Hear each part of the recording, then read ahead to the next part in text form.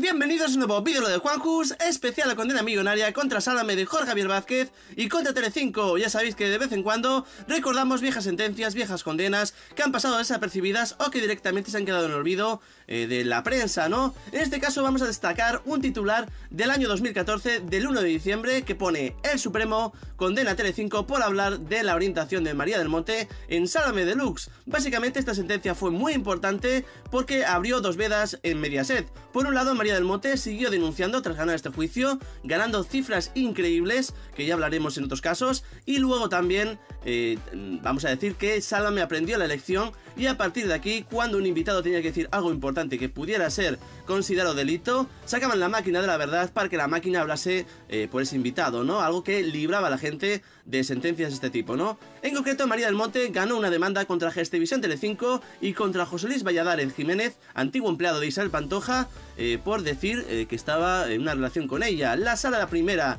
de lo civil del Tribunal Supremo confirmó una sentencia del 1 de octubre de 2012 de la Audiencia Provincial de Sevilla por una demanda interpuesta sobre la protección del derecho a la intimidad que había presentado la cantante María del Monte por haberse dado a entender en el programa Sálame Deluxe del 26 de febrero de 2010, eh, producido por la fábrica de la tele, que habían mantenido una relación sentimental ambas artistas. La cadena y el empleado tuvieron que indemnizar solidariamente a María del Monte por una intermisión en su intimidad por atención 50.000 euros, aunque ella realmente pedía 200.000 en su demanda.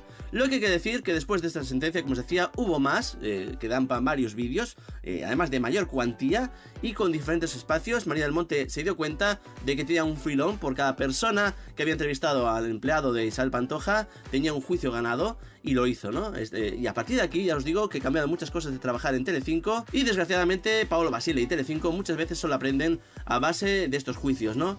¿Vosotros qué pensáis de todo esto? ¿Es normal eh, que un famoso eh, denuncie cuando se dicen estas barbaridades?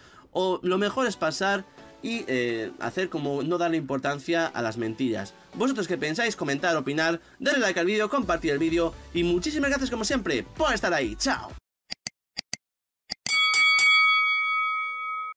Si te ha gustado este vídeo, dale a like y suscríbete con campana para más noticias. Y si quieres conocerme, visita también mis vídeos diarios. Tienes cadena Juanjo Blog para más información de la forma más amena. ¡Nos vemos!